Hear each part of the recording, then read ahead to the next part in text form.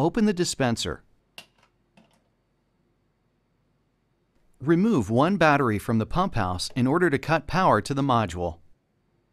Remove the refill.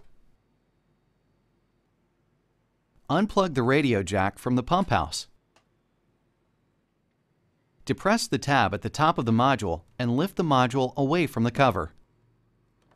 Slide the antenna wire out of the three belt loops.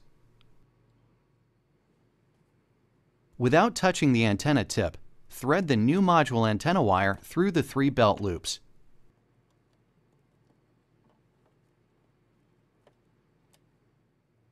Fit the bottom of the module into the placement slot, and with the module tab depressed, snap the top edge of the module under the retention tab.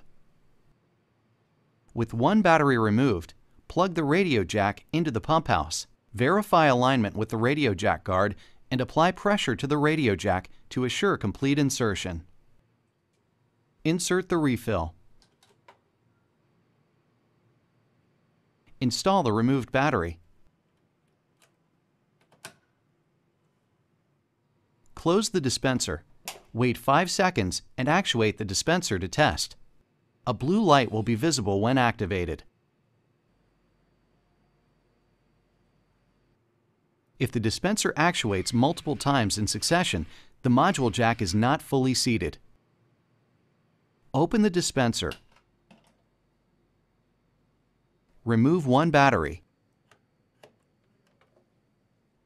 Unplug the radio jack and reinsert the radio jack into the pump house, assuring alignment and complete insertion. Install the removed battery. Close the dispenser.